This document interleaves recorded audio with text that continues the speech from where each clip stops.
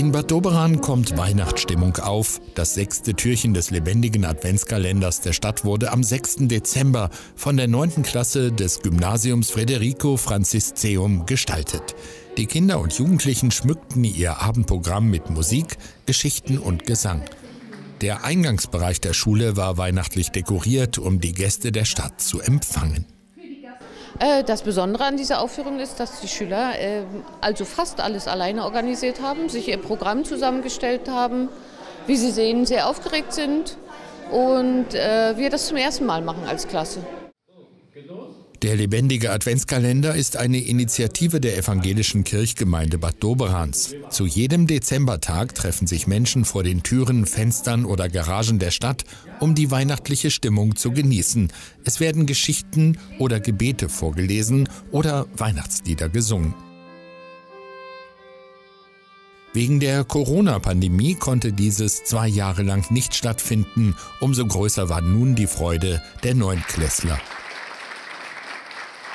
Wir haben sehr, sehr viel geprobt, wir haben sehr intensiv geprobt, muss ich dazu sagen. Wir haben viele Kranke gehabt, die ausgefallen sind, haben deswegen heute noch mehr als wir haben mehr geprobt als Schule zu machen und wir haben uns sehr intensiv damit beschäftigt. Wir, waren, wir sind alle sehr aufgeregt, wir freuen uns darauf und wir wollen den Abend so gut es geht gestalten.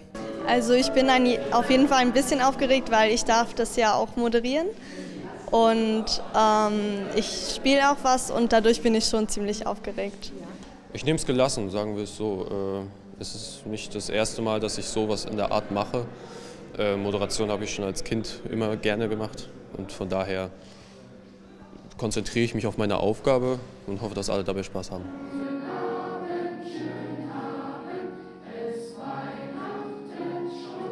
Der Abend begann mit Chorgesang. Die Jugendlichen sangen den Weihnachtsklassiker Guten Abend, schön Abend. Es folgten eine vorgelesene Geschichte sowie kleine Texte über Weihnachtstraditionen anderer Länder. Immer wieder spielten die Schülerinnen und Schüler selbst Musik. Sie gaben Weihnachtslieder auf der Violine oder dem Keyboard zum Besten. Der Abend endete mit gemeinschaftlichem Singen. Die große Aufregung der Schüler war nun gewichen.